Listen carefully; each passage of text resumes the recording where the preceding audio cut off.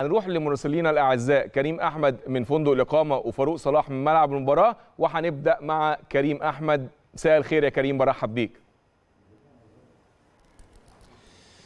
مساء الخير عليك كابتن الكبير. كابتن أيمن شوقي كل التحية ليك ولكل مشاهدينا ومتابعينا من خلال شاشة قناة النادي الأهلي. تحدي جديد النهارده ومباراة أكيد صعب على فريق النادي الأهلي. الأهلي وسونيديب بطل النيجر النهارده في تمام السابعه مساء على استاد الأهلي والسلام وهي مباراة إياب دور ال 32 يا رب إن شاء الله بإذن الله كل التمنيات لفريق النادي الأهلي في هذه المباراة. زي ما بنأكد يا كابتن أيمن كل مرة بالجدية وإصرار والتركيز الكبير اللي بنشوفه من لعيبة النادي الأهلي إن شاء الله بإذن الله تكون المباراة اداء ونتيجة من نصيب النادي الأهلي.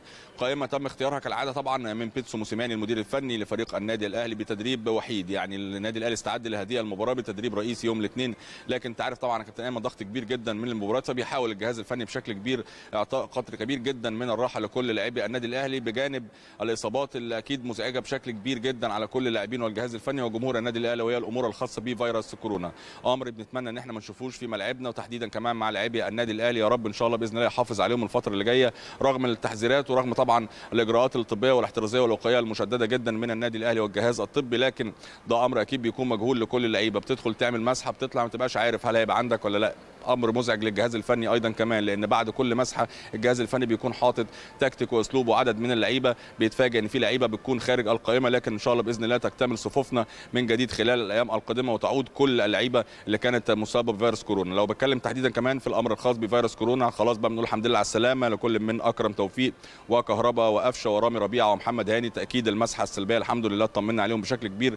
يتبقى إن شاء الله عمرو السولية ومروان محسن اللي هيكون في مسحه أكيد طبية خلال الأيام القادمة. إن شاء الله بإذن الله تكون المسحة سلبية وكل الصفوف تكون مكتملة لفريق النادي الأهلي مع بطولة الدوري العام وأيضا كمان في بطولة دوري أبطال أفريقيا. غيابات عديدة مع اختيار 21 لاعب في قائمة هذه المباراة. النهارده بنذكر كل من السوليه مروان محسن رامي ربيعه محمد هاني الشناوي جونيور اجاييه جيرالدو وناصر ماهر. يعني إن شاء الله بإذن الله الفترة اللي جاية بقى مع المجهود الكبير اللي بيبذل من الجهاز الطبي كل اللعيبة اللي غايبة عننا تعود من جديد. محتاجين كل الجهود خلال الأيام القادمة. عندنا تحديات صعبة جدا أكيد يا كابتن أيمن وجمهور النادي الأهلي يعلم هذا. وأيضا لاعبي النادي الأهلي تعلم هذا الأمر لكن إن شاء الله بإذن الله التوفيق يكون حليف كل اللاعبين النهارده في هذه المباراة. مباراة سهلة نظريا وده اللي اتكلمنا عليه أكتر من مرة. لكن في أرض الواقع وداخل المستطيل الأخضر محتاجة مجهود كبير لكل اللعيبة. دخولنا يكون جيد في المباراة التركيز على الفرص. بيتسو موسيماني الحقيقة في محاضراته الأخيرة اتكلم على اهدار الفرص ولابد إن إحنا نستغل أنصاف الفرص. ندخل المباراة بشكل جيد. المباراة أكيد بتقسم مراحل بالنسبة للرؤية الفنية لكن محتاجين جهد كبير النهارده في هذه المباراة. الملعب كان سيء جدا في المباراة الأولى أثر على لعيبة النادي الأهلي في التكتيك في الأسلوب في التهديف.